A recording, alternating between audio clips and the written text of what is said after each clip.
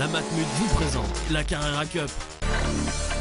La Porsche Matmut Carrera Cup a 25 ans et pour cette saison historique, elle s'offre une toute nouvelle auto, la 997 GT3 Cup 2011.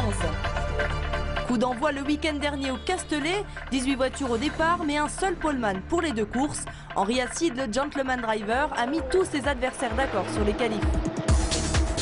Mais en peloton, il ne résiste pas longtemps aux attaques de Sylvain Noël et Kevin Estre. Les positions restent figées en tête de course alors que les esprits s'échauffent à l'arrière entre Julien Brichet et Lucas Lasserre.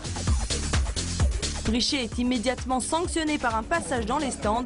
Le ton de la saison 2011 est donné, il faudra compter sur tous les pilotes A et B.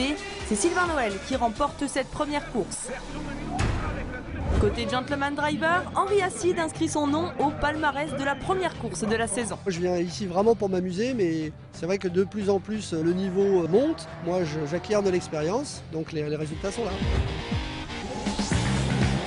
À suivre la course longue de 40 minutes. Acide est en tête, mais il est vite passé par le fougueux Julien Brichet, le débutant de cette Porsche Matmut Carrera Cup.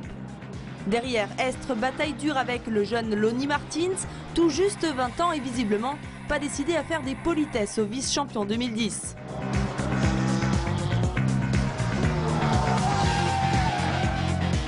À deux tours de l'arrivée, Lasserre remporte son duel face à Acide et monte sur la deuxième marche du podium.